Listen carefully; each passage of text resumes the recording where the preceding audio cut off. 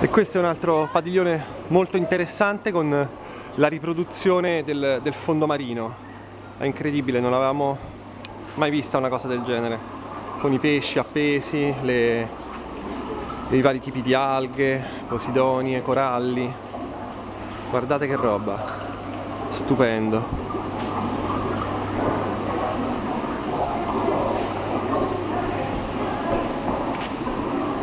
C'è anche un po' l'evoluzione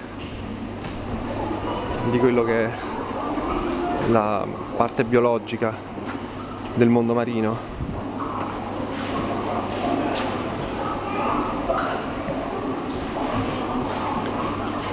Ed ecco qui invece gli effetti dell'inquinamento.